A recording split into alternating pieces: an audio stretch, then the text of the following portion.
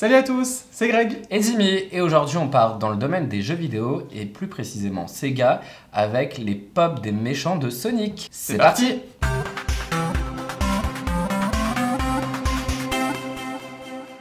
Alors on avait déjà présenté la pop de Sonic dans une vidéo, on avait présenté deux autres personnages de jeux vidéo, donc on vous met le lien en haut à droite. Et on commence avec la pop de Shadow, qui est un peu le rival de Sonic en quelque sorte. Alors Shadow, c'est un personnage qui est apparu pour la première fois dans Sonic Adventure 2 sur Dreamcast. Et voici le petit Shadow. Alors, il ressemble vraiment beaucoup à Sonic. Hein. C'est le même style. Hein. C'est un personnage qui a été euh, créé par le grand-père de Robotnik, qui s'appelle Gérald Robotnik. On voit direct, il est tout noir comparé à Sonic qui est tout bleu. Comme Sonic, il a les poils comme ça, ou les cheveux, en quelque sorte, qui partent en pointe juste derrière. C'est vraiment super joli. Et on voit qu'il y a du rouge au niveau de chaque pointe. Là, on voit au niveau de sa posture, il a vraiment une espèce de, prestance, d'assurance.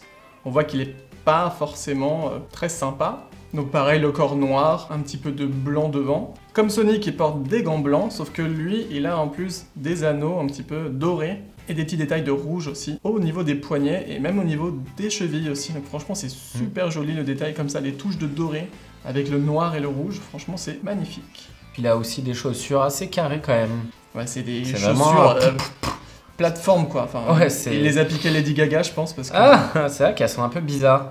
Noir et blanc et rouge, toujours dans la même couleur, mais c'est vrai que c'est assez volumineux et très très carré. Puis même à l'avant, il a des petits trucs dorés sur ses chaussures. Des grosses chaussures comme ça, alors qu'il a les jambes toutes fines, les bras tout fins aussi. Ouais, c'est un peu comme Sonic, c'est pour courir vite. Autrement, il est vraiment pas mal. Hein. Il est aussi beau, limite. On va pas dire qu'il est aussi beau, il est limite aussi beau que Sonic. Non, non, non. Sonic, c'est le meilleur. On est d'accord.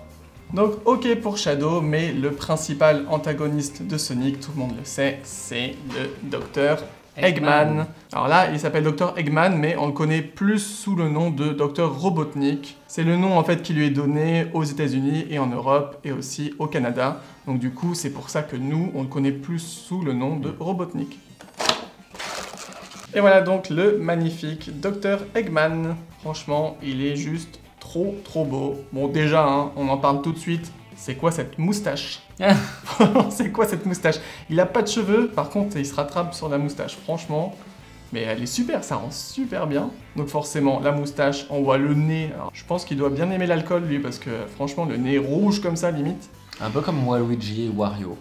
c'est vrai, ça rappelle un, peu ça. Hein. Et puis ces petites lunettes toutes rondes comme ça, franchement, bon, ça lui donne un petit côté euh, savant fou en fait. Donc c'est ça, ouais, exactement un genre de savant fou. Il fabrique des robots, des genres de vaisseaux un peu bizarroïdes pour capturer les animaux. Puis on voit sur sa tête, il a des genres de lunettes, je pense, pour voir dans la nuit. Ça fait le côté encore mm. scientifique. Et ce qu'on voit, c'est que ces lunettes, elles ont une forme d'écrou en fait.